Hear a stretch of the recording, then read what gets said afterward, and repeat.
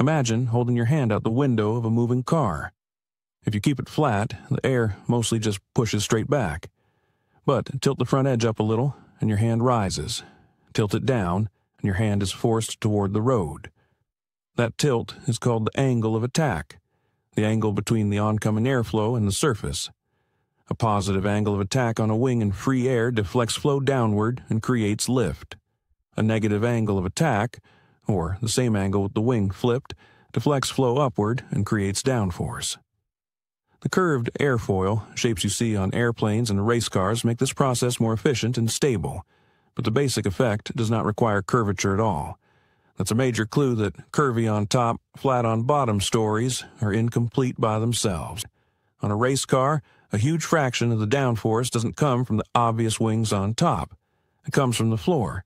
The space between the bottom of the car and the track behaves like a kind of upside down wing pressed very close to a wall.